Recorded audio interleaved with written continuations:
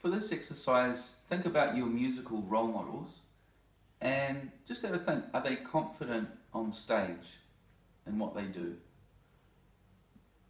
They themselves might suffer from a lack of confidence off stage, I'm not sure. It, it depends, obviously, who you're watching and who you're listening to. But on stage, what are they like? Nine times out of ten, they will not suffer from any lack of confidence whatsoever because they're in the zone. They're being purely creative, they're doing their thing.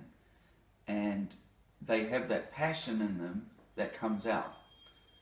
And you can take that and you can actually use that same confidence off of the stage as well, which in turn helps you when you're back performing again.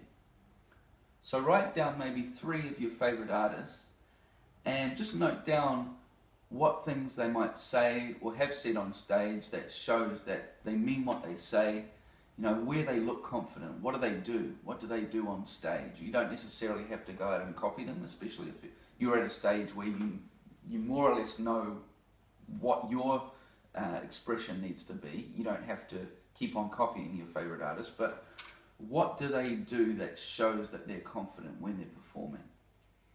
and then start to use some of that magic for yourself.